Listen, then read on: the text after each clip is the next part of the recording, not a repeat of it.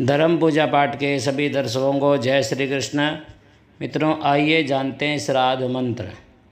श्राद्ध के अंदर प्रयोग किए जाने वाले मंत्र कौन कौन से हैं, खुद कर सकते हैं, वो विधि और वो कार्य में उपयोग में आने वाले सूक्ष्म मंत्र। आज के वीडियो में बताएँगे। आइए शुरू करते हैं श्राद्ध में कौन से मंत्र। तो सबसे पहले तो पंचबली क्रम गोग्रास निकालना उसके लिए मंत्र छोटे छोटे सूक्ष्म मंत्रों का प्रयोग कर सकते हैं। पहले तो आप संकल्प लें कि मैं किस लिए पंचबलीय क्रम कर रहा हूँ, गोग्रास निकाल रहा हूँ।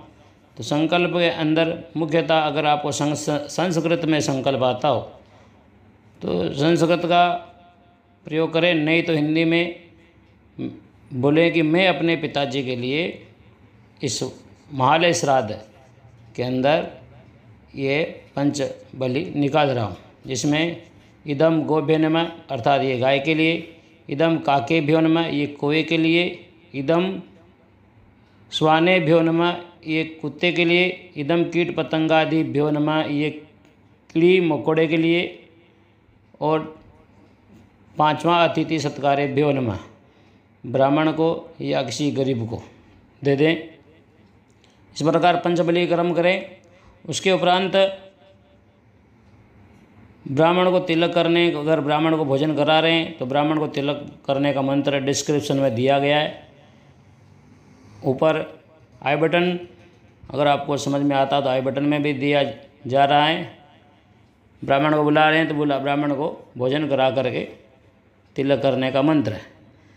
उसके उपरांत सबसे ज़्यादा पितृ स्तोत्र का पाठ किया जाता है। आप यदि किसी भी तरीके से या किसी का भी श्राद्ध निकाल रहे हैं तो उस दिन अगर पितरों के इस स्तोत्र का पाठ करते हैं तो पितृ आपके प्रसन्न रहते हैं। तो पितृ स्तोत्र की लिंक नीचे डिस्क्रिप्शन में दी गई है। ज़्यादा से ज़्यादा हो सके तो एक बार पितृ स्तोत्र का पाठ ज़रूर करें। श्राद्ध पूरे पक्ष में करें तो और बढ़िया, अति उत्तम। इसके उपरांत मंत्र, पितरों को प्रसन्न करने वाला मंत्र, जो कि पितृ गायत्री मंत्र के नाम से जाना जाता है, उसका ज़्यादा से ज़्यादा ज़्यादा से ज़्यादा पाठ करें, उच्चारण करें। एक श्लोक है, मात्र, ओम देवता भय, पितृ भय समायोग भय। अगर आपको नहीं आता हो तो उसका लिंक नीचे दिया जा रहा है। पितृ को प्रसन्न करने वाला मंत्र, पितृ गायत्री मंत्र। इन के ये छोटे छोटे इन कार्यक्रमों में ये छोटे छोटे मंत्र आपके पितरों को प्रसन्न करने वाले आपकी मनोकामनाओं को पूरी करने वाले पितर आपको आशीर्वाद प्रदान करें। इसी आशा के साथ सभी को जय श्री कृष्ण।